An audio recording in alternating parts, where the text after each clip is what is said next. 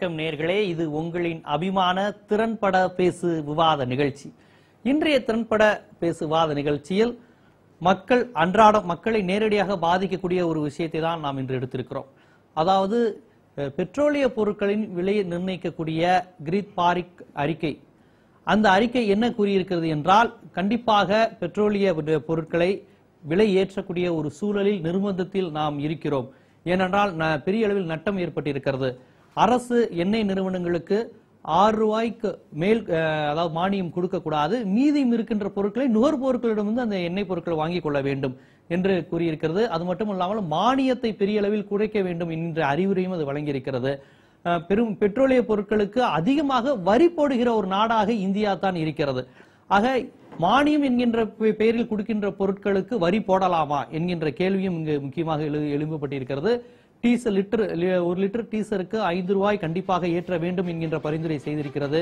அது மட்டும் இல்லாமல் மானியமாக வழங்கக்கூடிய வீட்டிற்கு பயன்படக்கூடிய அந்த எரிவாயு சிலிண்டர்கள் ஒன்பதிலிருந்து ஆறாக குறைக்கப்பட வேண்டும் என்று அறிவுறுத்தப்பட்டிருக்கிறது. ஏற்கனவே இது ஒன்பதிலிருந்து ஆறாக குறைத்து மத்திய அரசு அறிவித்ததற்கு ஒரு மிகப்பெரிய போராட்டங்கள் இந்தியா முழுவதும் நடைபெற்றதை நாம் அனைவரும் அனை- அனைவோம் மிகப்பெரிய ஒரு கூட்டணியில் இருந்தெல்லாம் விலகும் அளவிற்கான ஒரு போராட்டம் நடைபெற்றது. இத்தகைய சூழ்நிலையில் இந்த கிரீத் பாரிக் கமிட்டியினுடைய அறிக்கை என்பது மானியத்தை குறைக்க வேண்டும். டீசல் விலையை லிட்டருக்கு ஐந்து ரூபாய் அதிகரிக்க வேண்டும். மற்றும் ஆறு ரூபாய்க்கு மேல் மானியம் வழங்கக்கூடாது. நுகர்பொருட்களிலிருந்து எடுத்துக்கொள்ள வேண்டும். வரி விதிப்பை அதிகப்படுத்த வேண்டும் என்பது போன்ற சில பரிந்துரைகளை அரசுக்கு செய்திருக்கிறது. இந்த இதை உடனடியாக நமது அரசு நடைமுறைப்படுத்துமா என்பது தெரியவில்லை. இருந்தாலும் இப்படி ஒரு பரிந்துரை வந்திருப்பது கண்டிப்பாக சராசரியான மக்களை நடுத்தர மக்களை மிகவும் ஒரு அச்சத்தில் ஆழ்த்தியிருக்கிறது என்றே நாம் சொல்ல வேண்டும். இதற்கு என்ன காரணம்? இது போன்ற அஹ், சூழலில் இது தவிர்க்க முடியாததா? இல்லை தவிர்த்திருக்கலாமா? அரசு அதை செய்யவில்லையா? அரசு என்ன செய்ய வேண்டும் என்பது குறித்து விரிவாக இன்று நாம் விவாதிக்க இருக்கிறோம். இந்த திறன்பட பேசு விவாத நிகழ்ச்சியில் நம்முடன் கருத்துக்களை பகிர்ந்து சொல்வதற்காக காங்கிரஸ் கட்சியினுடைய மூத்த முக்கிய பிரமுகர் எழுத்தாளர் பசுபதி தன்ராஜ் அவர்கள் நமது விவாத அரங்கிற்கு வந்திருக்கிறார்கள். மற்றும் சியூடிசி அமைப்பை சேர்ந்த அன்பழகன் அவர்களும் நமது விவாத அரங்கில் இது குறித்து கருத்துக்களை பதிவு செய்ய இருக்கிறார்கள். வங்கியாளர் பொருளாதார நிபுணர் கோபாலகிருஷ்ணன் அவர்களும் நமது இந்த விவாதம் குறித்து அவர் தரப்பு கருத்துக்களை முன்வைக்க இருக்கிறார்கள். இவர்களுடன் இணைந்துதான் இன்று நாம் திறன்பட பேச இருக்கிறோம். சார் கோபாலகிருஷ்ணன் உங்களிடம் ஆரம்பிப்போம் ஏன்னா இது கொஞ்சம் அந்த பொருளாதாரம் தொடர்பான விஷயங்களால நீங்க ஒரு பேங்க் செக்டாருங்கிற உங்கள்ட்ட இருந்தே இது நம்ம கேட்போம். இப்ப இந்த பெட்ரோல் விலை ஏற்றம் அப்படிங்கிறது வந்து சமீப காலமா வந்து இந்த ரெண்டு மாதத்துக்கு ஒருக்க ரெண்டு வாரத்துக்கு ஒருக்க அடிக்கடி வந்து ஒரு ரூபா கூடிருச்சு ஐம்பது பைசா குறைஞ்சிருச்சுங்கிற மாதிரி விஷயங்களை சொல்றாங்க. இன்னொரு பக்கம் இடதுசாரிகள் வைக்கிற ஒரு குற்றச்சாட்டு என்னன்னா நீங்க என்னைக்கு வந்து தனியார் நிறுவனங்களிடம் அந்த அதிகாரத்தை விலையை நிர்ணயம் செய்யக்கூடிய அதிகாரத்தை கொடுத்தீங்களோ அன்னையில இருந்தே இது ஒரு மிகப்பெரிய பிரச்சனை ஆயிருச்சு இப்ப அந்த நிறுவனங்கள்லாம் அந்த நிறுவனங்களுக்கு சார்பாக தான் பரிந்துரைகள்லாம் வருது. ஆஹ் அதாவது நிறுவனங்களை கையில விட்டுருங்க. எண்ணிக்கைய விலையை ஏற்றக்கூடிய உரிமையை வந்து தனியார் நிறுவனங்களிடம் விட்டுருங்கிற மாதிரி பரிந்துரை வருது. மக்களுக்கு மானியம் கொடுப்பதை தடுக்க சொல்றாங்க. அப்ப இது எல்லாமே ஒரு தனியார் நிறுவனம் சார்பான ஒரு விஷயத்தை மத்திய அரசு தொடர்ந்து செய்து வருகிறது அப்படிங்கிற ஒரு குற்றச்சாட்டை வைக்கிறாங்க. அரசு இல்லைங்க உலக சந்தை கச்சா எண்ணெய் வெளியேற்றம் தொடர்ந்து தான் இது நடைபெறுது அப்படிங்கிற விஷயத்தை பாக்குறாங்க. இப்ப இந்த பரிந்துரை இது போன்ற விஷயங்கள் இதையெல்லாம் நீங்க எப்படி ஒரு நேர்த்தகவா எப்படி பாக்குறீங்க நீங்க? அதாவது பொருளாதார கண்ணோட்டத்தில் பார்க்கும்போது மே- மேலோட்டமாக பார்க்கும்போது என்ன தோணும்னா எந்த ஒரு பொருளின் விற்பனையும் அதனுடைய அடக்க விலையை சார்ந்ததாக இருக்கும். உற்பத்தி விலையை உற்பத்தி ஆகிறதுக்கு என்ன செலவுகள் வருகிறதோ அதுதான் விலையாக இருக்க வேண்டும். ஆனால் அந்த உண்மையான விலை கொடுத்து வாங்குவதற்கு மக்களிடம் சக்தி இல்லாத ஒரு நிலையில் ஒரு வெல்ஃபேர் ஸ்டேட் என்று சொல்லக்கூடிய மக்கள் நல அரசுகளுக்கு சில பிரத்யேக கடன் கடமைகள் உண்டு. மானியம் அதுதான் மானியம் வழங்குவது. அந்த மானியம் வழங்குவது என்று இன்டர்நெட் அல்ல தொன்று தொட்டு வழங்கப்படும் ஒரு விஷயம். இந்த மானியம் அதிகரித்துக் கொண்டே போகிறது என்பது ஒரு குற்றச்சாட்டு. அதற்கு காரணம் உற்பத்தி விலையும் அதிகரித்துக் கொண்டே போகிறது. ஒரு ஒட்டுமொத்த விலைவாசியும் அதிகரித்துக் கொண்டே போகிறது. மற்ற பொருள்களுக்கும் பெட்ரோல் டீசல் இந்த பொருள்களுக்கும் இந்த வீட்டு உபயோக கேஸ் என்று சொல்லக்கூடிய அந்த எரிவாயுவுக்கும் ஒரு வித்தியாசம் உண்டு. மற்ற விலைகள் அதன் அதனுடைய விலை ஏற்றமோ இறக்கமோ மற்ற விலைகளை அதிகம் பாதிக்காது. இது அப்படி அல்ல டீசல் விலை உயர்ந்தால் காய்கறி விலை மற்ற மளிகை விலை எல்லா பொருள்களின் மக்களின் மக்களுக்கு உபயோகப்படும் அத்தனை பொருள்களின் விலையும் உயர்கிறது. பெட்ரோலும் நேரடியாக போக்குவரத்தை பாதிக்கிறது. அதே போல் கேஸுங்கிறது அத்தியாவசியமாக சமையலுக்கு தேவையான விஷயம். இதில் வந்து மானியத்தை குறைப்பதற்காக இந்த பொருளாதார நிபுணர்கள் பரிந்துரைக்கிறார்கள். பேரட் கமிட்டியில் சொன்ன அப்போனா ஒரு மிக மிக ஒரு அதாவது நாலு நாலும் எட்டு இது சொல்றதுக்கு ஒரு பொருளாதார நிபுணர் தேவையில்லை. அவர் இந்த கணக்கு தான் போட்டிருக்கார். அவர் என்ன சொல்றாரு? இவ்வளவு செலவு ஆகுது. மூன்றே மூன்று நிறுவனங்கள். அந்த மூன்று நிறுவனங்களுக்கு ஏற்பட்டுள்ள கடன் தொகை ஒன்றரை லட்சம் கோடியாக உயர்ந்திருக்கிறது. இந்த கடன் தொகைக்கு வட்டிக்கு மானியம் கொடுக்க வேண்டும் என்கிறார்கள். ஒன்று. இரண்டாவது அரசு தரப்பிலிருந்து சொல்லப்படும் ஒரு வியாகியானம் வியாக்கியானம் அல்லது ஒரு விளக்கம் என்னவென்றால் எப்பொழுதுமே எந்த அளவுக்கு தான் மானியம் கொடுக்க முடியும் ஏன்னா எங்கள் பிசிக்கல் டெபிசிட் அதாவது நிதி ஆதாரம் நிதி நிதி ஆதாரத்தில் நிதி நிலையில் துண்டு விழுகிறது. ஆகவே இதை தாழ முடியாது என்பது அரசு தரப்பு அதே சமயத்தில் வீரப்ப மொழியை. இன்னைக்கு நம்ம என்ன விஷயத்தை பேசுகிறோமோ அதே விஷயத்தை வீரப்ப மொழியிடம் கேட்கும்போது அமைச்சரிடம் கேட்கும்போது அவர் சொல்லுகிறார் இந்த நான் இந்த பரிந்துரைகளுடன் உடன்படுகிறேனா இல்லையா என்று நானே சொல்ல அது முடியாது. ஐந்து மாநில தேர்தல் வருதுல்ல அதான். சொல்ல முடியாது. அதனால் இதற்கு இதை ஒரு நிபுணர் குழுவோட ஆய்வுக்கு உட்படுத்த வேண்டும் என்கிறார். ஒரு நிபுணர் குழு இந்த பரிந்துரைகளை வழங்குகிறது. இன்னொரு நிபுணர் குழு இது இந்த பரிந்துரைகள் சரிதானா இல்லையா என்று அவர்கள் ஆய்வு செய்வார்கள் ஆய்வு செய்வார்கள். அந்த ஆய்வு செய்வதற்கு செய்ததற்கு பிறகு அரசு அதை ஒரு முடிவு எடுக்க வேண்டும். ஆனால் ஒன்று மட்டும் தெளிவு. நம் அரசு என்னதான் சொன்னாலும் இது ஒரு இப்போ மக்கள் நல அரசு வெல்ஃபேர் ஸ்டேட் அதுக்கு உள்ள கடமையை அது தட்டி கழிக்க முடியாது. அதே சமயத்தில் மக்கள் நல மக்கள் நல அரசா இருக்குதுன்னு சொல்றீங்களா? இருக்கணும்னு சொல்றீங்களா? மக்கள் நல மக்கள் நல அரசா பிரகடனப்படுத்திக் கொண்டிருக்கிறது இல்லை. இந்தியா தன்னை இந்திய அரசு தன்னை ஒரு மக்கள் நல அரசாக பிரகடனப்படுத்திக் கொண்டிருக்கிறது. இந்த ஃபேக்ட் ரிமைன்ஸ் இன்ற தேதி வரையிலும் மானியம் கொடுத்து வருகிறது. இப்ப கொடு கொடு- மக்கள் நல அரசாக இருப்பதால் தான் மானியம் கொடுத்து வருகிறது. இனி அதை கொடுக்க தவறினால் அல்லது அதில் வந்து அதை கத்தரித்தால் அதை கட் குறைத்தால் அது மக்கள் மக்கள் நல அரசு என்று தன்னைத்தானே சொல்லிக்கொள்ள முடியாத ஒரு நிலை ஏற்படும். கண்டிப்பா. பொதுமக்கள் கருத்தை கேட்டு பயணிக்கும் வணக்கம். திறன்பட பேசு. வணக்கம் சார். வணக்கம். திறன்பட பேசு. எங்க இருந்து பேசுறீங்க? உங்க பேர் சொல்லுங்க. கோயம்புத்தூர்ல இருந்து மருதாச்சலம் சார். கோவையிலிருந்து மருதாச்சலம். சொல்லுங்க மருதாச்சலம். சார் அதாவது இப்படியே டீசல் பெட்ரோல் விலை இப்படியே ஏத்திட்டு போனா.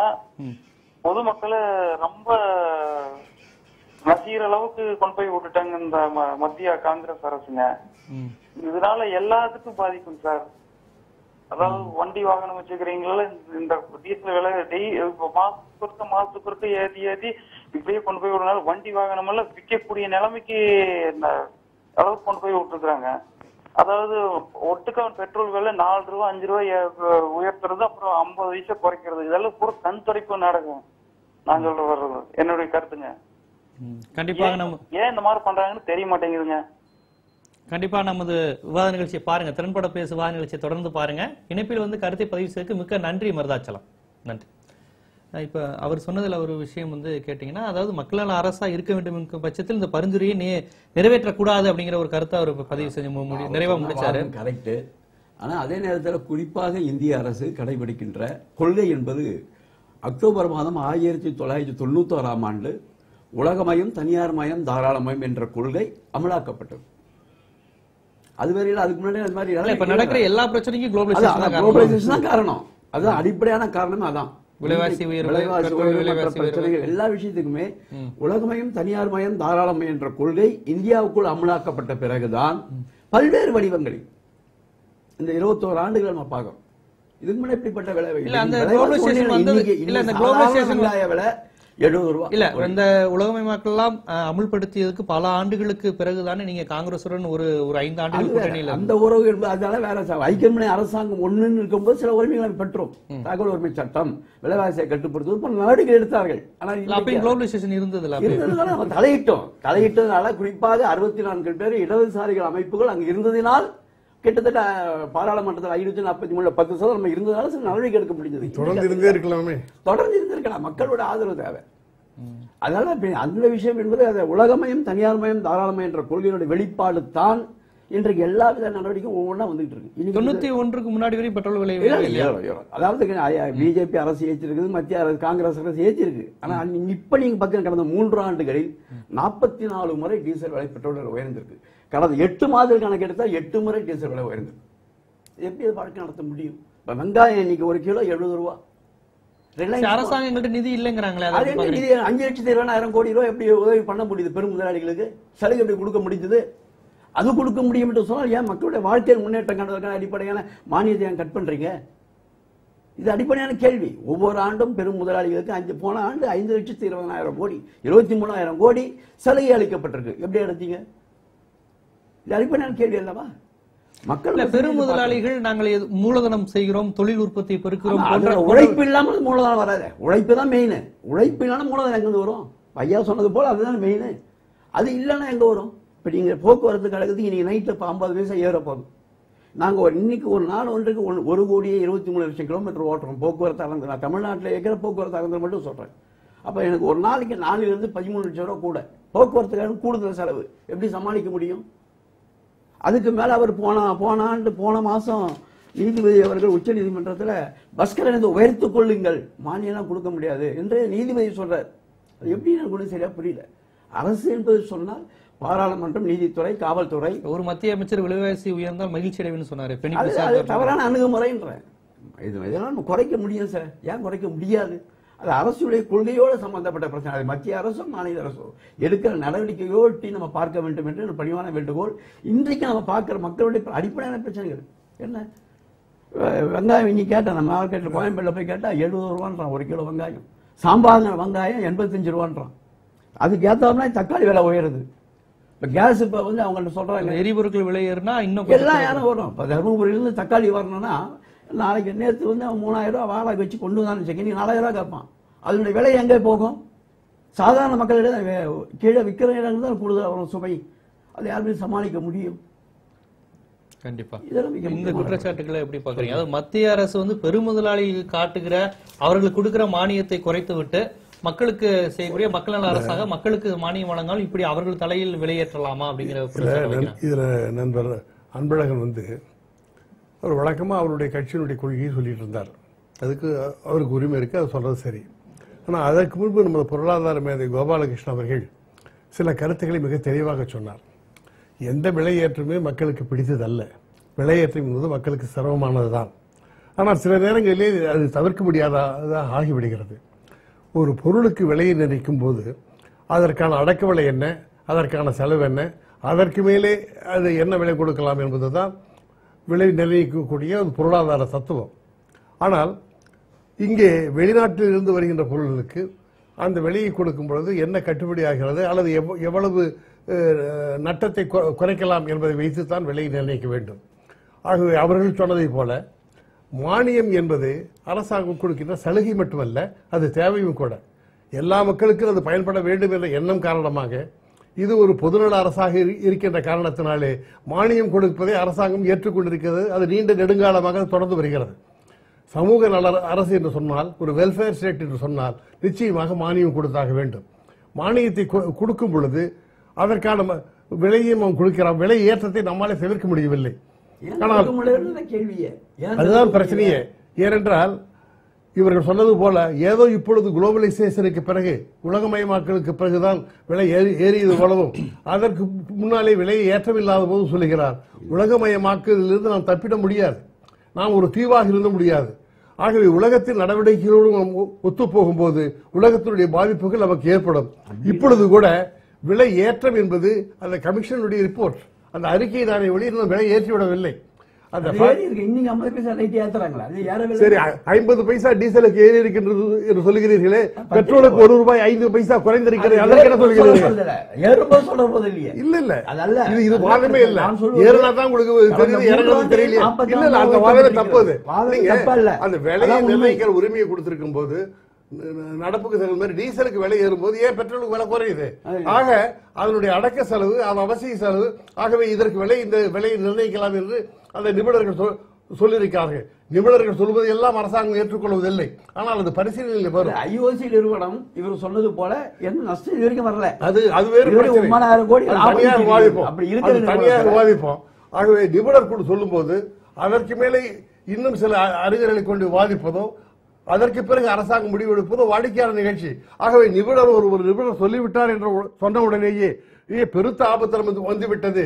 ஆகவே இந்த விலை ஏற்றி விட்டது என்று வாதமே செய்ய வேண்டாம் என்பது இதே கருத்து கருத்திலே கொள்ளலாம்.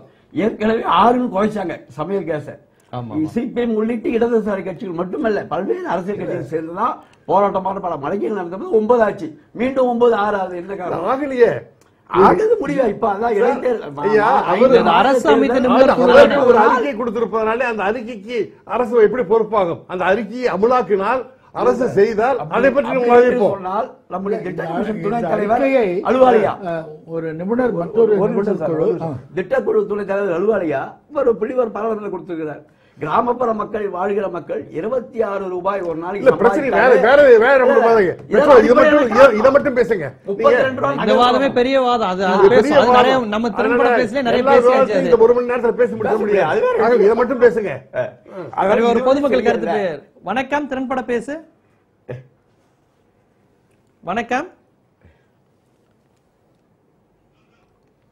இணைப்பில் இல்லைன்னு நினைக்கிறேன். இப்ப இன்னொரு விஷயம் சொன்னாங்க. அதாவது குளோபலைசேஷனால தான் இவ்வளவு பெரிய விஷயங்கள் ஆகுது தொண்ணூற்றி ஒன்றுக்கு பிறகுதான் உலகமயமாக்கல்னால தான் இவ்வளவு ஆகுதுங்கிறது தொடர்ந்து இடதுசாரிகள் குற்றச்சாட்டு. நமது விவாத நிகழ்ச்சியில் வந்த எல்லா இடதுசாரிகளும் இதை தொடாம பேசினதே கிடையாது. அப்ப இந்த உலகமயமாக்கல் வந்து அவ்வளவு பெரிய பிர- பிரச்சனையா? அது அதனாலதான் இவ்வளவு பிரச்சனை வருதுன்னா ஏன் நம்ம அரசு வந்து அதை மறுபரிசீலனை செய்யக்கூடாது? அதாவது உலகமயமாக்கல் என்பதுக்கு எவ்- ஒவ்வொரு நாணயத்துக்கும் ரெண்டு பக்கம் இருப்பது போல உலகமயமாக்கலுக்கும் ஒரு இது ஒரு கான்செப்ட் அது ஒரு தத்துவம். அது அதற்கு ரெண்டு பக்கம் இருக்கிறது. ஒன்று அதாவது உலகமயமாக்கல் மூலமாக தான் நமது இளைஞர்கள் எல்லாம் இன்னைக்கு இப்ப பல்வேறு நாடுகள் உலகம் முழுவதும் சென்று எளிதாக ஐடி நிபுணர் அதாவது ஐடி நிபுணர் பொதுமக்கள் கருத்து கேட்டு தொடர்ந்து பேசுவோம். வணக்கம் திறன்பட பேசு. வணக்கம். நான் ஈரோட்ல இருந்து ராஜகோபால் பேசுறேங்க. ஈரோட்டில் இருந்து ராஜகோபாலன் பேசுறேங்க. ஆ, ஈரோட்டில் இருந்து ராசி கோபாலன் சொல்லுங்க ராசி கோபாலன் சொல்லுங்க. வெங்காய விலை எண்பது ரூபாய் ஏற்கனவே எதுக்குங்க வாங்குறீங்க நீங்க? கத்திரிக்காய் வந்து வெண்டைக்காய் விலை மூணு ரூபாயா? அதுக்கு சரியான விலை கிடைக்காம ரோட்ல கொண்டு கொட்டுறாங்க மக்கள்லாம். சரி. வெண்டைக்காய் சாப்பிடுங்க. ம். சொல்லுங்க வெங்காய விலை ஏற்கனவே எண்பது ரூபாய் கொடுத்து எதுக்கு வாங்குறீங்க? ஒதுக்கிடுங்க வெங்காயத்தை. வெங்காயம் சாப்பிட்டு தான் உயிர் வாழணும் இல்லைங்க. நீங்க என்ன தொழில் பண்றீங்க? ராசி கோபாலன் என்ன என்ன ஒர்க் பண்றீங்கன்னு கேட்டேன் நானு. மத்திய அரசு ஊழியரா இருக்கேங்க. நான் எங்க வீட்டுல வந்து பைக் இருக்கு. பெட்ரோல் விலை ஏறி போச்சு. நான் சைக்கிள தொடச்சு ரெடி பண்ணி வச்சுக்கிட்டேன் நானு. பெட்ரோல் அதாவது பக்கத்துல இருக்க இடத்துக்கெல்லாம் நடந்து போயிடுறேன் நானு. போற இடத்துக்கெல்லாம் டவுன் பஸ்ல. போயிடுறேன். நமது அரசு- முடியாத இடத்துல தான் பைக் எடுக்கிறேன் நானு. அந்த மாதிரி இருந்துட்டா நல்லா மீட் அவுட் பண்ணிக்கலாம். இல்ல நம்ம அரசு விரும்புற குடிமகனா இருக்கீங்க நீங்க. உலகத்தோட ஒத்து வாழ அப்படிதானே. விலை ஏறிச்சு விலை ஏறிச்சுன்னு எதுக்கு அழணும்? சொல்லுங்க சொல்லுங்க. சொல்லுங்க ராசி கோபாலன் அந்த மாதிரி அந்த மாதிரி விளையாட்டத்தை வந்து சமாளிக்க கத்துக்கணும் மக்கள். ம். கண்டிப்பா கண்டிப்பா. நன்றி ராசி கோபாலன். நன்றி. நம்ம இந்த விவாத நிகழ்ச்சியை தொடர்ந்து பாருங்க. திறன்பட பேச தொடர்ந்து பாருங்க. அதான் உலகமயமாக்கலை பத்தி பேசணும். இந்த இதே உலகமயமாக்கல் தாராளமயமாக்கல் பயனாகத்தான் நமது படித்த இளைஞர்கள் உலகெங்கும் சென்று அவர்களால் தொழில் செய்யப்படுகிறது. பணி செய்ய முடிகிறது. அது- அது மட்டுமல்ல நமது ஜிடிபியே ஆறுக்கு மேலே அஞ்சு நாலு அல்லது அஞ்சு சுதந்திரம் சுதந்திரம் அடைந்த நாட்களில் இருந்து தொண்ணூறு வரையிலும் ஐந்துக்கு மேல் உயர்ந்ததில்லை. இந்த இருபது ஆண்டுகளில் தான் சராசரியாக அந்த இருபது ஆண்டுகளில் பத்து ஆண்டுகள் சராசரியாக எட்டு சதவீத ஜிடிபி இருக்கிறது.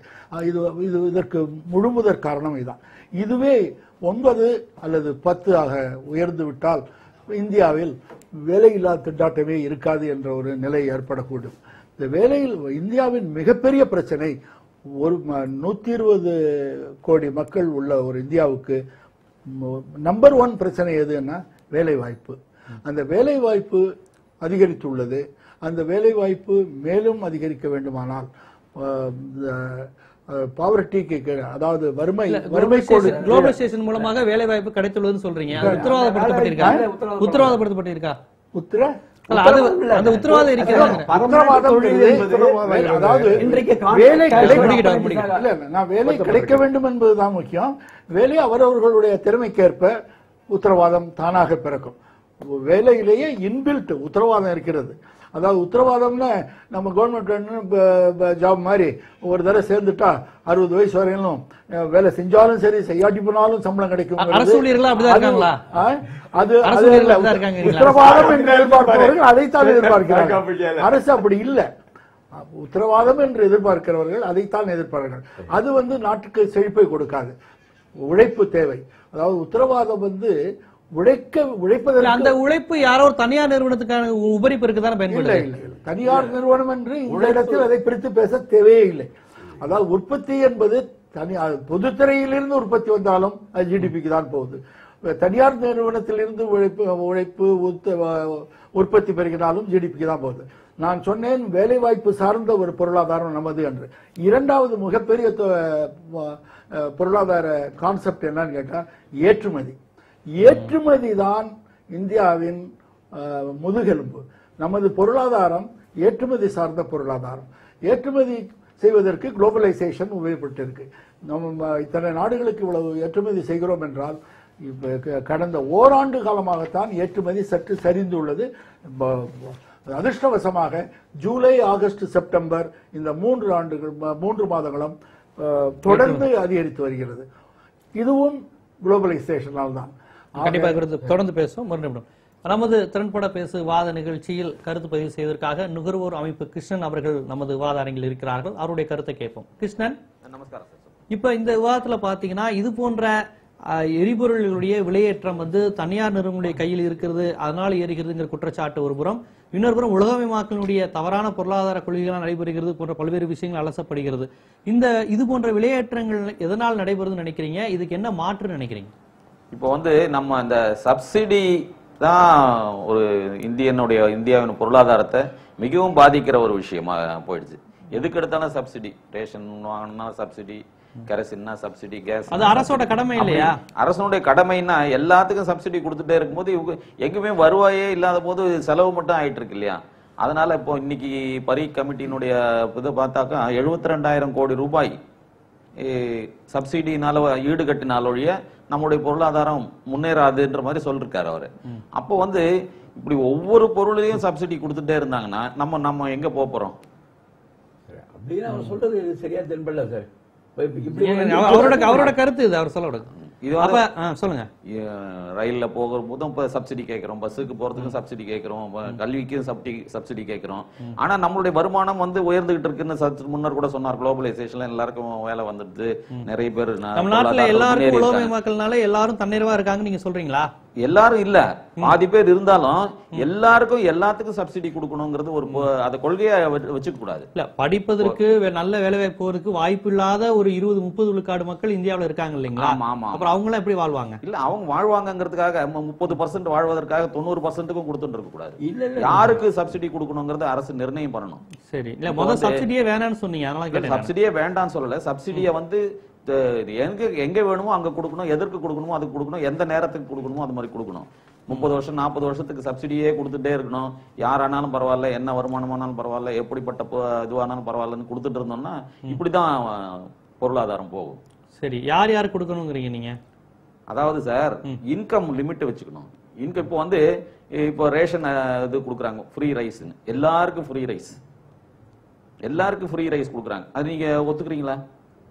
கட்டாயம் இலவசமாக அரிசி வாங்கக்கூடிய நிலைமையில் தான் அந்த ரேஷன் வாங்கக்கூடிய அத்தனை பேர் இருக்காங்களா?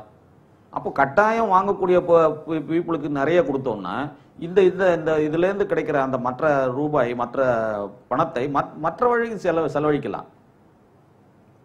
அதனால அதாவது இதனை இதனால் இவர் சாய்ந்து அவதனை அவர் கண் விடல் என்ற வள்ளுவர் சொன்ன மாதிரி யாருக்கு கொடுக்கணுமோ அவங்களுக்கு கொடுக்கணும். சகட்டு மேனிக்கு வந்து ஒரு அரசியல் இதுக்கு லாபம் கிடைக்கிறதுக்காக எல்லாருக்கும் எல்லாமே இலவசம். யாருக்கும் எதுவும் இல்லை அப்படின்னு கிருஷ்ணன் சொல்றது கிருஷ்ணன் இணைப்பில் இருங்கள். இந்த இந்த விஷயத்தை எப்படி பாக்குறீங்க அரசு. நிறைய மானியம் கொடுக்கறதுனால தான் பெரிய கடன்காரன் அதுதானே சார் அரசு. வெல்ஃபேர் அரசு வேற என்ன? இப்ப பல அஞ்சு லட்சத்தி இருபதாயிரம் கோடி எப்படி கொடுத்தீங்க வரி சலுகை? அது எப்படி கொடுக்குறீங்க? கிட்டத்தட்ட நூத்தி பதிமூணு இல்ல அவர் இன்னொரு முக்கியமான. ஒரு நிமிடம் அவர் வச்ச இன்னொரு முக்கியமான விஷயம். நீங்க சொல்றது பெருமுதலுக்கு கொடுக்கிற விஷயத்தை நான் நான் வரேன் அதுக்கு அது- வரேன். அவர் இப்ப சில விஷயங்களை சொல்றாரு. நீங்க கொடுக்க வேணாம்னு சொல்ல. உண்மையிலே அரிசி வாங்க முடியாதவங்களுக்கு கொடுங்க. ஆனா நீ கார்ல வரும்போது கூட எல்லாருக்குமே ரேஷன் கார்டுல வந்து அரிசி முடிச்சாச்சு. ஏற்கனவே என்ன ஆச்சு? மச்ச அட்டை இருந்தது மஞ்ச அட்டை இருந்தது வெள்ளை அட்டை இருந்தது குடும்ப அட்டை. அதெல்லாம் கட் பண்ணிட்டாங்கல்ல. ஒரு அட்டை தான். அவர் சொல்றது தவறான கருத்து.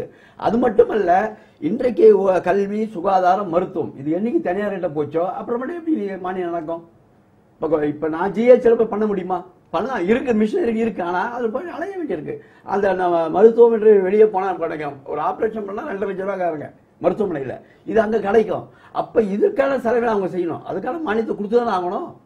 அதெல்லாம் கொடுக்காம நீ இப்படியே ஒரு பக்கம் அஞ்சு இப்படி கொடுப்பேன் அப்படி செய்வேன். ஒரு ஐயா பெரியவர் சொன்னார் நூத்தி மூணு கோடி மக்கள்ல எண்பத்தி மூணு கோடி எண்பத்தாறு கோடி மக்கள் வறுமை கோட்டிக்கு கீழே இருக்கலாம் கட்டத்தில் அறுபத்தி நாலு வருஷம் சுதந்திரம் பெற்றாச்சு.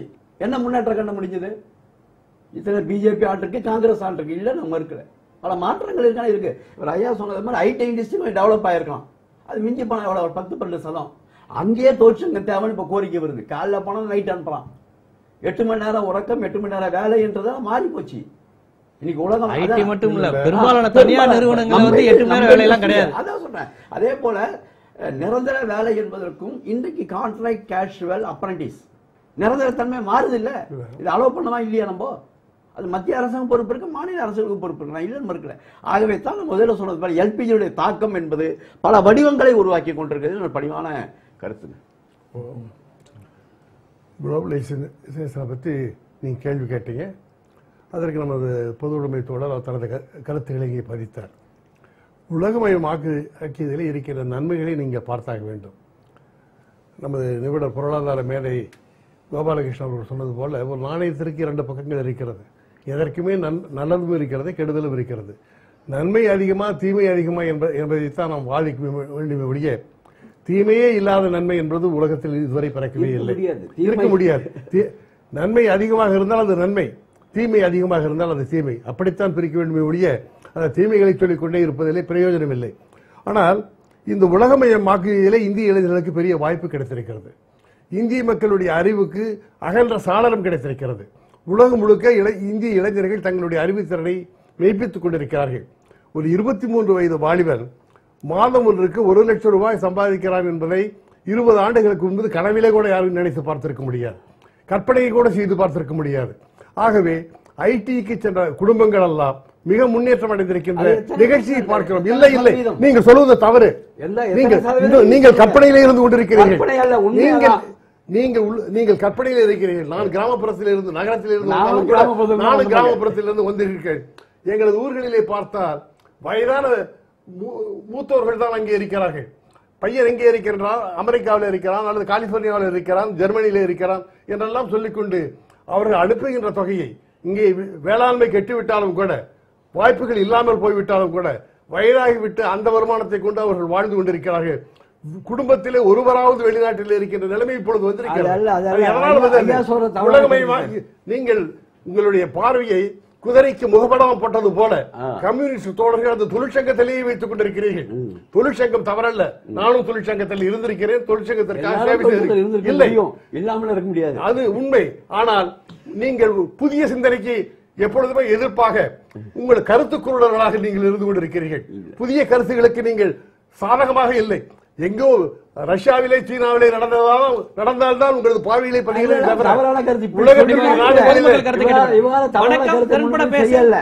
இல்ல, இல்ல, உங்களுடைய பார்வையை நீங்கள் அகலப்படுத்திக் இல்லை, பாதையை அகலப்படுத்தி தான் ஒரு. இடைவேளைக்கு பிறகு. இன்றைய திறன்பட பேசு விவாத நிகழ்ச்சியை பொறுத்தவரை இது போன்ற மானியங்களை குறைக்க வேண்டும் என்று அஹ், அரசு அரசுக்கு நிபுணர் குழு பரிந்துரை செய்திருக்கிறது. அந்த பரிந்துரை தேவையில்லை என்கின்ற கருத்தும் இந்த பரிந்துரையை இன்னும் அமுல்படுத்தாத நிலையில் இந்த வாதம் தேவையில்லை என்கின்ற கருத்து வருகிறது. அதே சமயங்கள் மானியங்களால் தான் அரசுக்கு நட்டம் ஏற்படுகிறது என்கின்ற மூன்று விதமான கருத்துக்கள் இங்கு பதிவு செய்யப்பட்டிருக்கிறது. இன்னும் இந்த விவாதம் குறித்து விரிவாக பார்க்க இருக்கிறோம். ஒரு சிறிய இடைவேளைக்கு பிறகு.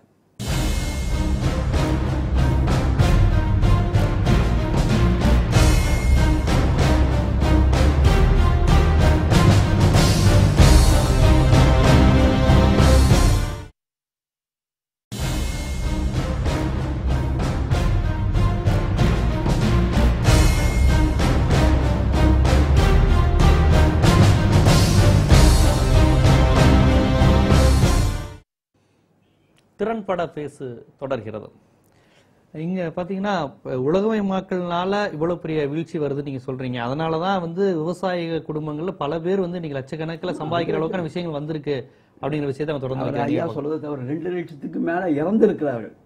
விவசாயம் பண்ண முடியல வேளாண்மையினுடைய நிலவை மாறி இருக்கு நீ ஏன்னா இந்த இந்த தாக்கம் நான் சொல்றேன். இந்த அரசுடைய கொள்கை உலகமயம் மட்டுமல்ல அரசுடைய கொள்கை என்பது சாதாரண மக்களுக்கான சலுகை கொடுப்பதற்கு பதிலாக முதலாளிகளுக்கான பெரும் சலுகை அளிப்பதன் இல்ல அவரு இன்னொரு விஷயம் சொன்னார். அதாவது உலகமயமாக்கல்ங்கிறது இந்தியா மட்டும் ஃபாலோ பண்ற ஒரு விஷயம் உலக நாடுகள் எல்லாம் கடையில் விற்கிறான் சார். ஐம்பது ரூபா லாச்சரிக்கு விற்கிறான் நம்ம பொருள்? சீனால வந்து குளோபலைசேஷன் இல்லைங்கிறீங்களா? இருக்குது. அதான் அது அனுமலாக்கும் போது அதனுடைய மக்களுடைய பெரிய யதார்த்தமான அதாவது அங்க சீனால. நான் உரிமை எடுத்து போக முடியாது சார் அரசுக்கு சொந்தம் இல்ல அப்ப குளோபலைசேஷன் நீங்க அக்செப்ட் பண்ணிக்கிறீங்க. சீனால இருக்க அது வேற குளோபலைசேஷன் ஃபுல்லா அக்செப்ட் பண்ணாலும் நடந்து தானே இருக்கு இருபது வருஷம் அமல அமலாக்கி தான் அவங்க சொல்றாங்க. உலகமே அதோட வெளிப்பாடு நாங்க மட்டும் எப்படி தான். தான். ஒரு விஷயம் வளர்ச்சியே வேண்டாங்கிறாங்க. மாறுதலே வேண்டாங்கிறாங்க. மாறுதலே வேண்டாம்னு சொல்ல மாறுதல் எப்படி சார்? மாறும் என்ற வார்த்தை தவிர மாறுதல் என்ன இருக்கு? எல்லாம் உட்பட்டதானே மாறும். அது யாருக்கு பயன்படும்? நூத்தி பதிமூணு கோடி மக்களுக்கு பயன்படுகிறதா? ஐயா சொன்ன மாதிரி ஒரு பத்து குப்பை- ஒரு டெவலப் ஆயிருக்கலாம். அதுல மாற்று கருத்து நமக்கு இல்ல. அது டெவலப் ஆயிருக்கு. அங்க கூட பல நீங்க சொன்ன மாதிரி வேலை கலாச்சாரம் மற்ற பிரச்சனைகள் இருக்கிறது. ஒரு பெண்ணுக்கு பாதுகாப்பு இருக்கிறதா?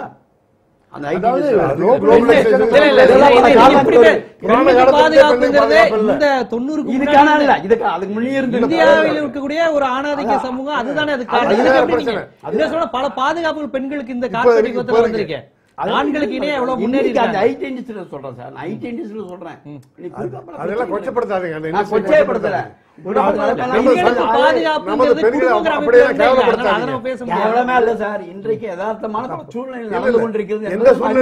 பெண்களை நின்று நிலைக்க நின்று தங்களை காத்துக் கொள்ளக்கூடிய திறமையை அவர்கள்.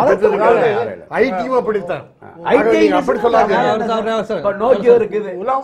உலகமயமாக்கலை பத்தி நான் சொல்லிக் கொண்டிருந்தேன். அது முழு. முடியும். வேலை வாய்ப்புங்கிறது ஒன்று ஒரு பொதுமக்கள் கருத்து கேட்டு பின்னு தொடர் ஒரு நிமிடம். வணக்கம். திறன்பட பேசு. வணக்கம். நான் கோத்துல இருந்து விஜயன் பேசுறேங்க. நான் கோத்தேரியிலிருந்து விஜயன். சொல்லுங்க விஜயன். இந்த தொண்ணூறுக்கு அப்புறம் உலகமயமாக்குனதுக்கு அப்புறம் தாங்க இந்த பொருளாதார கொள்கை மாறுது. இதனால பாத்தீங்கன்னா ஊழல் ஊழலும் கொள்ளைகளும் தான் அதிகமா இருக்குது பணக்காரங்க செய்யறது சமீபத்துல பாத்தீங்கன்னா மணல் தாடு மணல் கொள்ளைலாம் அந்த புதிய பொருளாதார கொள்கை மூலமா தான் அந்த ஊழல் அதிகமா பன்னாட்டு கம்பெனிகள்லாம் வந்து இன்னைக்கு இது பண்ணிட்டு இருக்கிறாங்க. இந்த கொள்கை இந்த புதிய புதிய பொருளாதார கொள்கையான எல்லாமே த- தனியாருக்கு அனுப்புறங்கிற ஒரு விஷயம் தான் இவ்வளவு மாற்று விஷயமாக இருக்குது. இதுதான் கஷ்டத்தை உருவாக்குது. இது மாற்ற வேணுங்கிறது என்னுடைய கருத்து. கண்டிப்பா விஜயன் நம்ம தொடர்ந்து நமது திறன்பட பேச பார்த்துக்கிட்டு இருக்கீங்க. தொடர்ந்து பாருங்க. நன்றி. உலகமயமாக்கல்ங்கிறது சர்வரோக நிவாரணி போல எல்லா கஷ்டங்களையும் தீர்த்து விடும் என்று சொல்லவும் முடியாது. அதே சமயம் உலகமய நா- நாட்டில் நடக்கிறத ஒரு கற்பழிப்பில் ஆரம்பிச்சு அஹ், பாதுகாப்பு அது இது எல்லாத்துக்கும் மணல் கொள்ளை எல்லாமே உலகமயமாக்கலின் விளைவு என்று சொல்வது தவறு. உலகமய கல்வியை சரியாக புரிந்து கொள்ள வேண்டுமென்றால் மூன்று முக்கிய விஷயங்களை நாம் புரிந்து கொள்ள வேண்டும். ஒன்று வேலைவாய்ப்பு தொடர்புடையது. அது பரவலாக இப்பொழுது ஏற்றுக்கொள்ளப்பட்ட ஒரு விஷயம். வேலைவாய்ப்புக்கு தங்குதடை இல்லாமல் யார் வேண்டுமானாலும் எந்த நாட்டுக்கு வேண்டுமானாலும் சென்று தகுதி என்ற அடிப்படையில் மட்டுமே வேலைவாய்ப்பு பெறுவதற்கான வாய்ப்பு கிடைத்திருக்கிறது.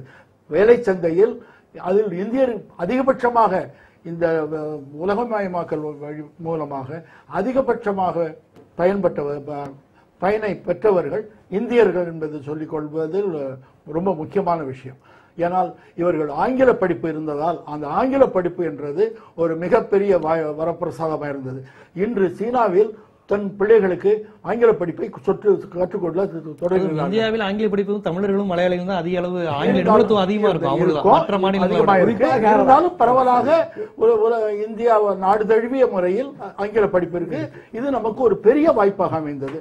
அதே சமயத்தில் நம்ம இந்த தகவல் தொழில்நுட்பத்தை கற்றுக்கொண்டதால் நிறைய இன்ஜினியரிங் காலேஜஸ் வந்ததால் அதற்கு இணை மிக மிக வாய்ப்பாக அமைந்து விட்டது இன்று சீனா இந்தியாவை பின்பற்றுகிறது ஏதாவது ஒரு விஷயத்தில் பின்பற்றுகிறது என்றால் அது ஏதாவது ஒரு விஷயத்தில் நம்மை போல் அவர்கள் இருக்க வேண்டும் என்று அவர்கள் விரும்புகிறார்கள் என்றால் அது இந்த வேலைவாய்ப்பு விஷயத்திலும் ஆங்கில படிப்பு விஷயத்திலும் ஆகும். ஒன்று.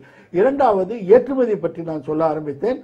ஏற்றுமதி என்பது உலகமயமாக்கல் இந்த கொள்கை வந்த பிறகுதான் எல்லா நாடுகளுக்கும் நம்மால் ஏற்றுமதி செய்ய முடிகிறது. நம் ஏற்றுமதி மிகப்பெரிய ஒரு வாய்ப்பாக இருக்கிறது. ஆனா ஏற்றுமதி அந்த நடைபெறுவது எல்லாம் இறக்குமதி தானே? மேற்கத்திய நாடுகள் இறக்குமதி தானே?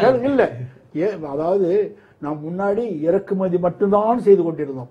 குண்டூசியில் இருந்து யானை வரை இறக்குமதி மட்டும்தான் செய்து கொண்டிருந்தோம். இப்பொழுது எல்லா பொருட்களும் தோல் பொருள்கள் ஜவுளி பொருள்கள் ஆயத்த ஆடைகள் மற்றும் பல்வேறு தே- காபி தேயிலை இந்தியாவிற்கான சந்தையாக அமெரிக்கா இருக்குங்கிறீங்களா? ஐயா பேச விடுங்க. இந்தியாவிற்கான சந்தையாக அமெரிக்கா இருக்குங்கிறீங்களா? இல்ல அமெரிக்கான சந்தையா இந்தியா இருக்கா? இல்ல இந்தியாவுக்கான சந்தையாக ஐ மீன் பல்வேறு நாடுகளில் இந்தியாவின் சந்தை தலை தூக்கி இருக்கிறது நாம் ஏதாவது ஒரு நாட்டுக்கு உடன் பின்தங்கி இருக்கோம் என்றால் அது சீனா. சீனா ஒரு ஒரு நாளைக்கு ஒரு கப்பல் நிறைய பொருள்களை அங்குள்ள வால்மார்ட்டுகளுக்கு அனுப்புகிறது. இந்த இருபது ரெண்டாயிரத்தி எட்டு ரெண்டாயிரத்தி ஒன்பது அந்த ரெண்டு நாடு ரெண்டு ஆண்டுகள் தவிர பிற நாடுகளில் நாள் ஒன்றுக்கு சீனாவில் இருந்து ஒரு கப்பல் முழுமையாக வால்மார்ட்டுக்கு போகிறது.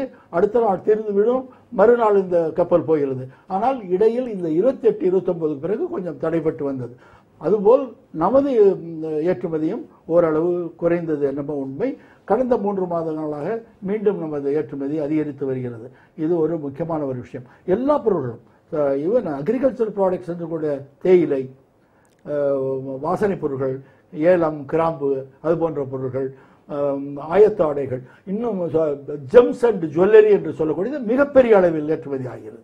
ஜெம்ஸ் அண்ட் ஜுவல்லரி மிகப்பெரிய அளவில் ஏற்றுமதி ஆகும் இது போன்ற சகலவித பொருட்களும் ஏற்றுமதி ஆகி கொண்டிருக்கிறது.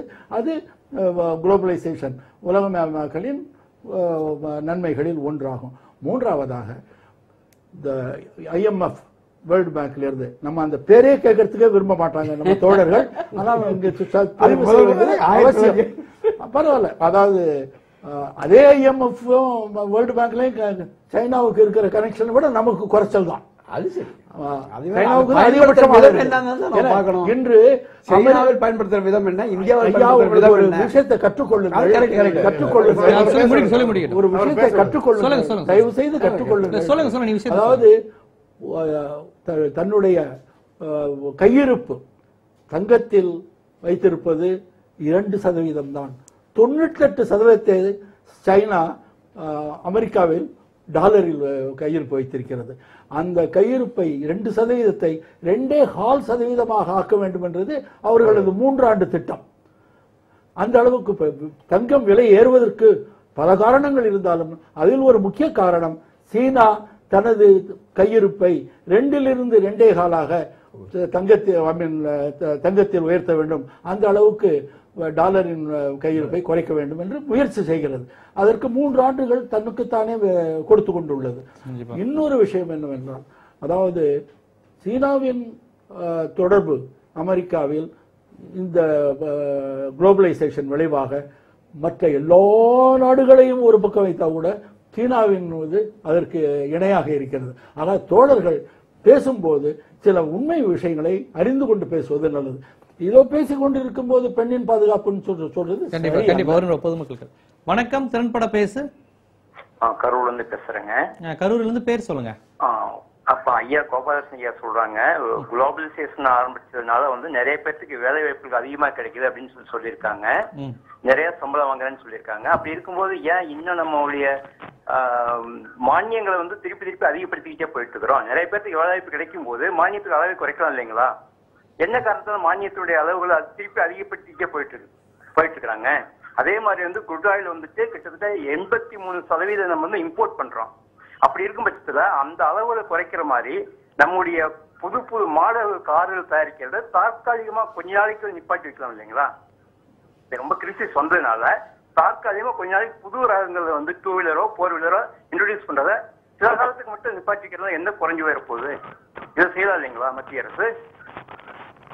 கண்டிப்பா அந்த நிபுணர்கள் ஒரு பரிந்துரை சொல்லியிருக்காங்க நீங்க ஒரு பரிந்துரை சொல்லியிருக்கீங்க. கண்டிப்பா மத்திய அரசு ரெண்டையுமே ஒரு பரிசீலிப்பாங்கன்னு நினைக்கிறோம்.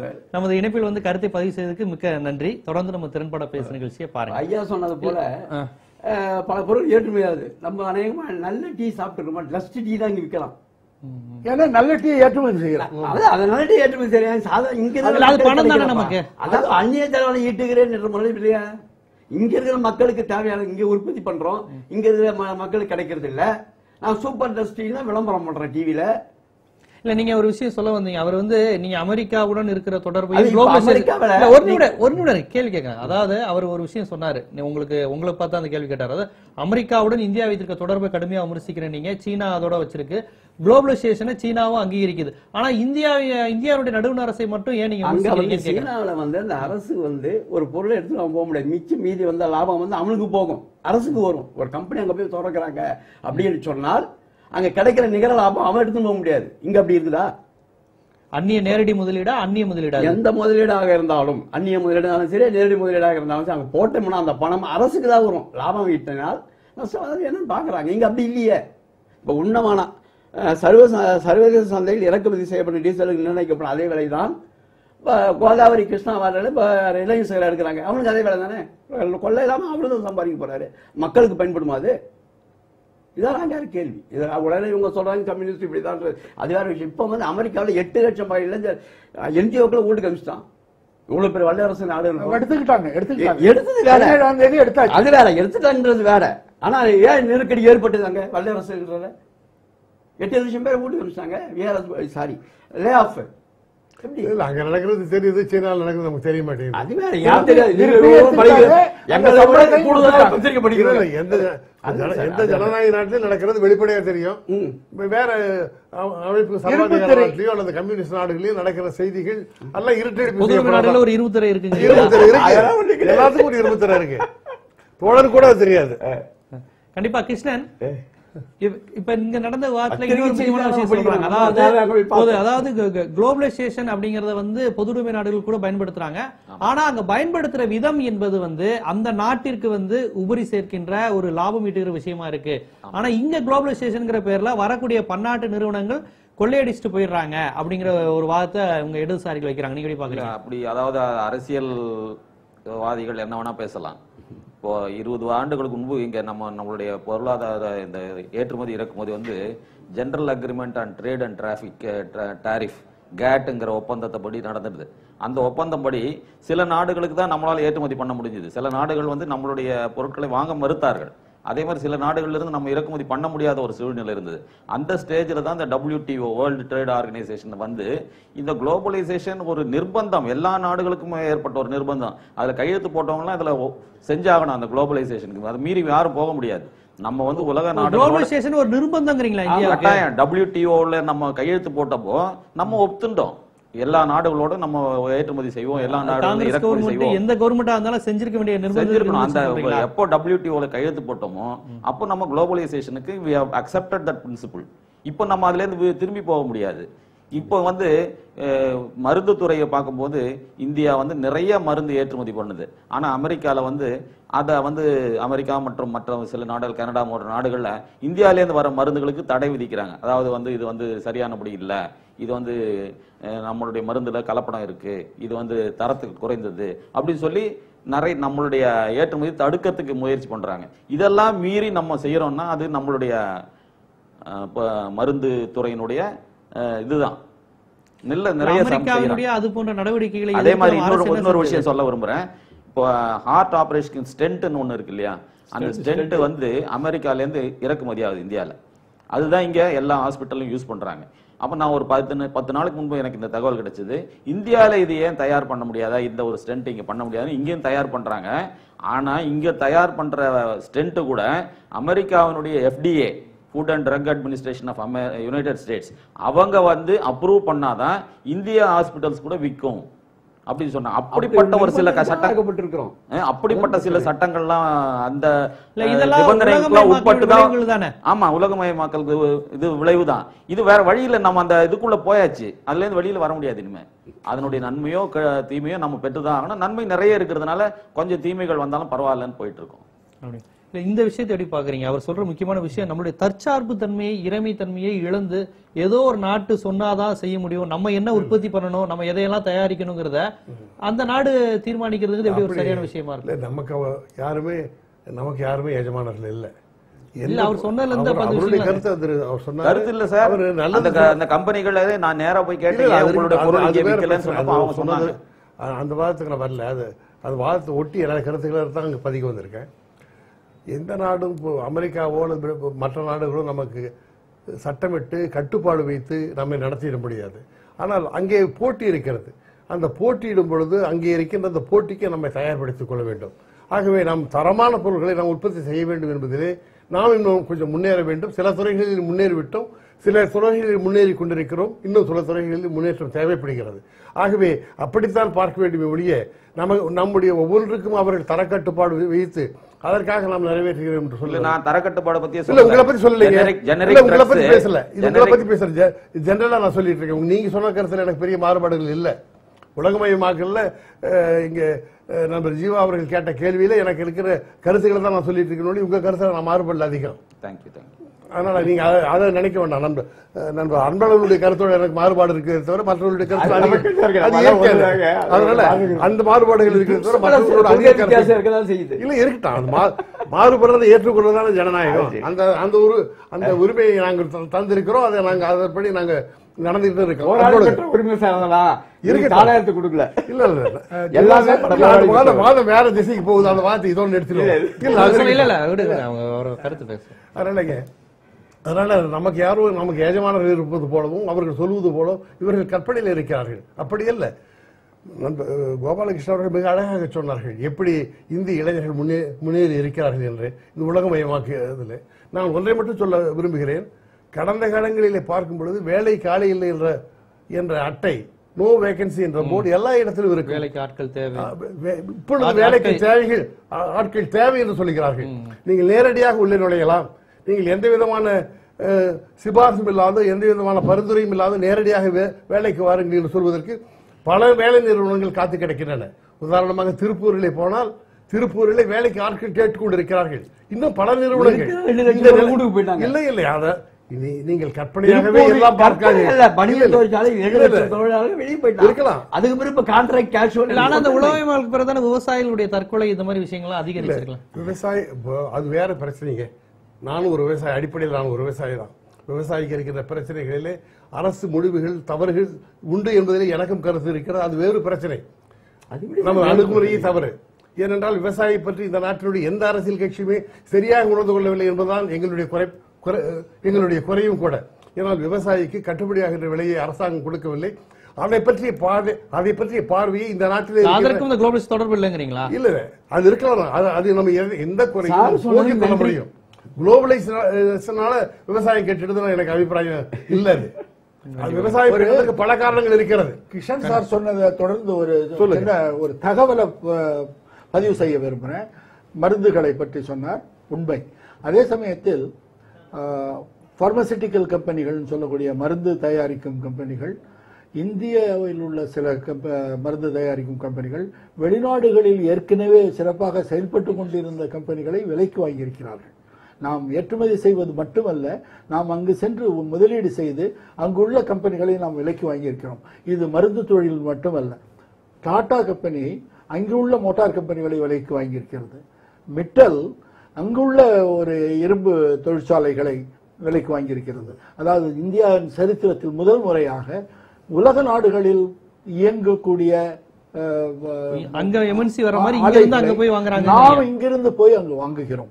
அது- அது அதுடன் இந்த மூன்று துறைகளும் கூட அங்கு ஒரு சிக் யூனிட்டாகவோ அல்லது நலிவடைந்து நில்- நலிவடையும் நிலையில் இருக்கும் போதோ அல்லது லாபம் ஈட்டும் நிலையில் இல்லாத போதோ நாம் அதை வாங்கி அதை வெற்றிகரமாக லாபம் ஈட்டியிருக்கிறோம். இல்ல இப்ப இந்த வாரத்துல இந்த பரிந்துரை பெட்ரோலிய நிறுவனங்களுடைய விலை ஏற்றுவது தொடர்பா மானியம் குறைக்கணும் தொடர்பா அந்த பரிந்துரை இந்த வாரத்தினுடைய நிறைவு கருத்தா நீங்க என்ன சொல்ல என்னோட கருத்து இன்றைய சூழலில் தற்பொழுதுள்ள விலைவாசி அதிகரிக்கும் உள்ள சூழலில் இது வந்து மேலும் முந்தா நாள் வந்த ரிசர்வ் பேங்கோட கிரெடிட் பாலிசியோட பாலிசி என்னன்னா விலைவாசியை கட்டுப்படுத்துவது பணவீக்கத்தை குறைப்பது. அந்த ஒரு நிலையில் இது இட் வில் ரன் வட்டி வீதம் வேற அறிவிச்சு அதி- அதிகரிச்சிட்டாங்க ரிசர்வ் பேங்க் அல்ல ஒரு இதுல அதிகரிச்சாங்க ஒரு இதுல குறைச்சிருக்காங்க. எம்எஸ்எஃப் குறைச்சிருக்காங்க ரெப்போவை உயர்த்திருக்காங்க. அதுவும் கால் சதவீதம் உயர்த்த மாதிரி கால் சதவீதத்தை அதிகரித்திருக்காங்க. இதனால் வெறும் பாதிப்பு ஏற்படாது என்பதை சொல்ல விரும்புகிறேன். இன்று வரை இரண்டு நாள் ஆயிடுத்து நாற்பத்தெட்டு மணி நேரத்தில் எந்த ஒரு வங்கியும் விலையை வட்டியை உயர்த்த ஏற்கனவே இருக்க டெபாசிட்டா வச்சு அவங்க இது manage பண்றாங்க. அது ஒண்ணும் அது ஒரு விலைவாசியை கட்டுப்படுத்துவதும் பணவீக்கத்தை கட்டுப்படுத்துவதும் முன்னுரிமை கொடுத்திருக்கிறார்கள். அது வரவேற்கத்தக்க ஒரு விஷயம். அதே சமயம் அது ஏதோ ஒண்ணு ஏத்தி தானே அதை கட்டுப்படுத்த முடியுது? அப்படிதான் அதுதான் இயற்கையா வர அதுதான் இயற்கை. அதாவது பணப்புழக்கத்தை சில நேரங்களில் கட்டுப்படுத்த வேண்டிய அப்ப இது போன்ற இப்ப இந்த விவகாரத்திலயும் மானியத்தை மானியத்தை குறைக்க கூடாது ஒரே வார்த்தையில் சொல்ல வேண்டுமானால் மானியத்தை குறைக்க கூடாது என்பதுதான் என் கருத்து. கண்டிப்பா. உங்களுடைய நிறைவு பதிவு நிறைவு கருத்து சுருக்கமா பதிவு அதான் ஒன்றும் இல்லை சார் அந்த பிரச்சனை தான் அவர் கொடுத்த கமிஷன் ரிப்போர்ட்டை அரசாங்கம் ஏற்றுக்கொள்ளக்கூடாது. சாதாரண ஏழை மக்களுடைய வாழ்க்கையில் முன்னேற்றம் காணுவதற்கான நடவடிக்கை எடுக்கப்பட வேண்டும் என்பதுதான் என்னுடைய பணிவான கருத்து. கண்டிப்பா கண்டிப்பா. உங்களுடைய நிறைவு கருத்து நிறைவு இந்த விவாதம் நண்பர் சொன்ன மாதிரி அவர் இந்த கமிஷன் ரிப்போர்ட்டை மறுபடியும் ஆராய்ச்சிக்கு உட்படுத்தணும். ஏன்னா எல்லாத்துக்கும் தெரிஞ்ச உண்மை வந்து டீசல் பெட்ரோல் விலை உயர்ந்தா நாட்டினுடைய எல்லா பொருட்களுமே விலை ஏறும் விலைவாசி உயரும் பணவீக்கம் வரும் அதெல்லாம் சரி. ஆனாலும் பிரத்யட்சமா நமக்கு இருக்கிற தொல்லைகளையும் கருத்தில் கொள்ளணும். இதெல்லாம் கெடுதலா இருந்தால் கூட தவிர்க்க முடியாத சில தீமைகளை நாம் சமயத்தில் ஏற்றுக்கொண்டாக வேண்டியிருக்கிறது. ஆகவே இவைகளெல்லாம் கருதி அரசாங்கம் முடிவெடுக்க வேண்டும். சரியான முடிவெடுக்க அது அதுதான் நிலைமை என்றால் அதை அதை தவிர்க்க முடியாது. அதுதான் நிலைமை என்றால் இல்லை என்றால் வேறு வழி இல்லை என்றால் அதை ஏற்றுக்கொண்டுதான் ஆக வேண்டும். ஆனால் கூடுமானவரை விலைவாசி ஏற்ற இந்த டீசல் விலை பெட்ரோல் விலை ஏற்றாமல் இருப்பதற்கு. எல்லோரும் விரும்புவது போல நாங்களும் அதைத்தான் கருதுகிறோம். உங்களுடைய நிறைவு கருத்தை பதிவு செய்யுங்க கிருஷ்ணன் சார் நான் ஏற்கனவே சொன்ன மாதிரி இந்த சப்சிடி வந்து அது எழுபத்தாறாயிரம் கோடி ரூபாய் ஒரு வருடத்துக்குள்ள அந்த இழப்பை மீட்டு தரணுங்கிறாரு. அப்பதான் வந்து பொருளாதாரம் உருப்படும் சொல்றாரு. அப்படி இருக்கும்போது அதை வந்து அவங்க சொல்றதை ஏற்றுக்கிறதுல தவறு இல்லை ஆனா ஒரு டிரான்ஸ்பரன்சி இருக்கணும். அரசாங்கம் வந்து முன்னூ இதை இப்போ இன்னைக்கு அடி கடைசியா நான் கிளம்பும் போது வந்த செய்தி என்ன? ஐம்பது பைசா தான் ஏறி இருக்கு. காலையில ஐந்து ரூபான்னு சொன்னாங்க. இப்போ டீசல் ஐம்பது பைசா ஏறி இருக்கு. பெட்ரோல் பதினஞ்சு காசு குறைஞ்சிருக்கு. எல்பிஜி பத்தி எந்த பேச்சுமே இல்ல. ஒரு ரூபா பதினஞ்சு. காசு. வந்து எல்பிஜி பத்தி எந்த பேச்சும் இல்ல. அதனால அவர் ரெக்கமெண்டேஷன் கொடுத்தாரு அது ரைட்டு பட் இதை இம்ப்ளிமெண்ட் பண்ணும்போது அரசாங்கம் டிரான்ஸ்பரன்சி இருக்கணும். இந்த காரணத்துக்காக இந்த செலவு இவ்வளவு ஆயிருக்கு. இதுல இந்த இவ்வளவு அமௌண்ட் தனியார் எண்ணெய் நிறுவனங்களிடம் அந்த உரிமையை கொடுக்கலாமா? விலை ஏற்றி இறக்குறத. இல்ல அத வந்து அதான் அட்மினிஸ்ட்ரேட் பிரைஸ்னு சொல்றாங்க. தனியார் நிறுவனம் கொண்டு வர முடியாது. அதை வந்து அரசாங்கம் பார்த்துட்டு அரசாங்கம் தான் பர்மிட் பண்றாங்க. நல்லது. உங்களுடைய நிறைவு கருத்துக்கு மிக்க நன்றி. தேங்க்யூ இன்றைய திறன்பட பேசு வாத நிகழ்ச்சியை பொறுத்தவரை இந்த மானியத்தை குறைப்பது பெட்ரோலிய பொருட்களுக்கான விலையை நிர்ணயிப்பது குறித்து அந்த கமிட்டி வெளிவந்ததை கண்டிப்பாக அது பரிந்துரைத்திருப்பது கண்டிப்பாக எந்த மக்களுக்கும் எந்த கட்சியினருக்கும் ஓப்பானதாக இருக்காது. அதாவது டீசல் விலை உயர்வதோ பெட்ரோல் விலை உயர்வதோ சிலிண்டர்களுடைய ஒன்பதிலிருந்து ஆறாக குறைத்து மானியத்தை குறைத்து கொடுப்பதோ கண்டிப்பாக யாருக்கும் ஊப்பாக இருக்காது. ஆனால் இது போன்ற சமயங்களில் நமக்கு நம் நாடு இருக்கின்ற நிலையில் பணவீக்கம் டாலருக்கு நிகரான ப- பணம் குறைந்து வருவது போன்ற பல்வேறு பொருளாதார பெருமந்தங்களை சந்தித்துக் கொண்டிருக்கின்ற சூழ்நிலையில் சில கசப்பு மருந்துகளை நாங்கள் கொடுக்க வேண்டியதுதான் இருக்கிறது. இருப்பினும் இந்த பரிந்துரையை நாங்கள் கூடுமானவர்கள் தவிர்ப்போம் என்கின்ற கருத்தை நடுவண் அரசு தரப்பும் பொருளாதார நிபுணர் தலைப்பும் வைத்திருக்கிறார்கள். ஆனால் இடதுசாரிகளோ இந்த அரசு ஒரு பிரச்சனை என்று வரும்போது சாமானிய மக்கள் தலையில் வரியை அதிகப்படுத்துவது மானியத்தை குறைப்பது போன்ற விஷயங்களில் ஈடுபடுவதை விட பெரும் முதலாளிகள் கொடுக்கின்ற முக்கியத்துவத்தை குறைக்க வேண்டும் அவர்கள் கொடுக்கின்ற மானியத்தை குறைக்க வேண்டும் என்கின்ற கருத்தை இடதுசாரிகளும் இங்கு மிக அழுத்தமாக வைத்தார்கள். மீண்டும் ஒரு திறன்பட பேசு விவாத நிகழ்ச்சியில் சந்திக்கும் வரை உங்களிடமிருந்து விடைபெறுவது ஜீவ சகாப்தன்